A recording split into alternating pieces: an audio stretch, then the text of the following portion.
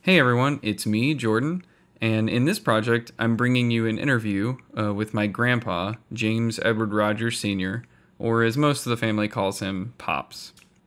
Uh, what follows is an eight hour interview I did with him across a couple days um, over the July 4th holiday in 2017, um, edited down to a two hour block of 16 topical clips. Um, it covers everything from his earliest memories to his thoughts on the world today and even advice for future generations. As far back as I can remember, I've had an interest in personal storytelling. My mom had this tradition where she would make pumpkin bread um, and then find uh, seniors in our church through the church directory and would take um, the pumpkin bread to their houses and we'd get to meet them and show them some appreciation. But I remember hearing their stories about their lives and their kids and their history, and it was just absolutely fascinating to me. Uh, that led to an appreciation of the kind of programs you'd see on PBS or here on NPR. I'm just a big fan of conversational media.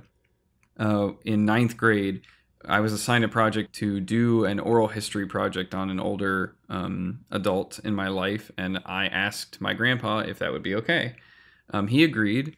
One day I showed up with a cassette recorder and a bunch of generic questions, but I left with this totally new perspective on who my grandpa was and the kinds of things he dealt with in his life, like living through the Great Depression, growing up in early Jacksonville, but back then I was kind of immature and young. Like as time has gone on, I've appreciated the opportunity more, but it's always felt like a missed opportunity.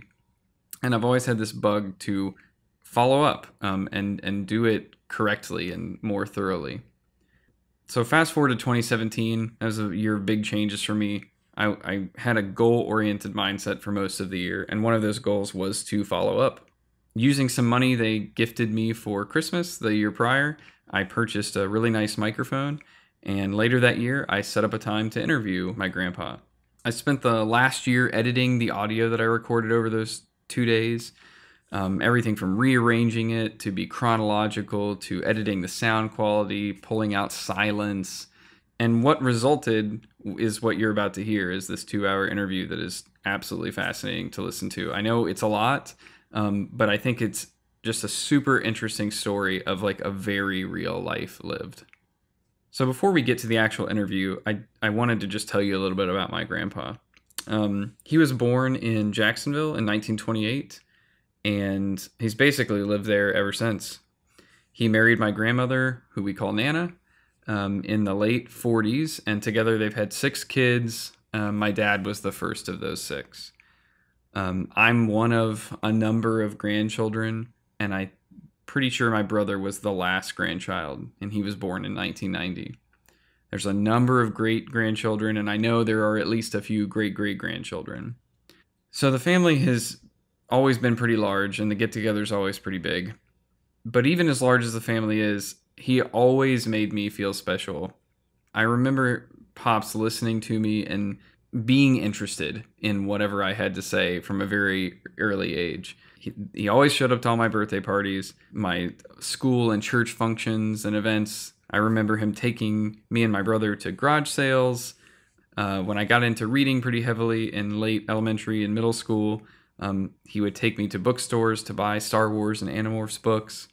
I remember him pulling me and my brother into the enclosed hallway they had on the bedroom side of their house um, to turn the lights off and just improv stories um, that were always really interesting and thoughtful. Uh, you should ask my brother about the Namekop if you're interested. They they were like the first ones in the family that I knew that had high speed internet, and they were gracious enough to let us come over and use their computer.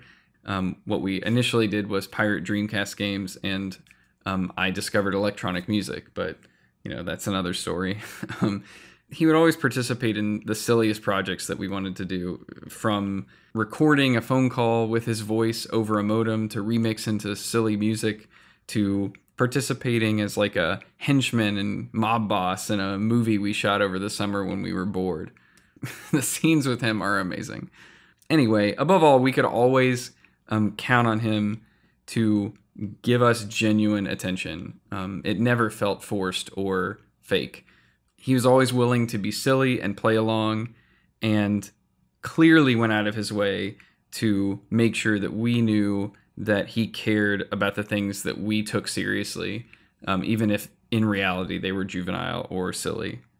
If anything, this is an attempt to repay some of that sentiment, you know, to show a genuine interest in my grandpa and his life and care about knowing what is important to him.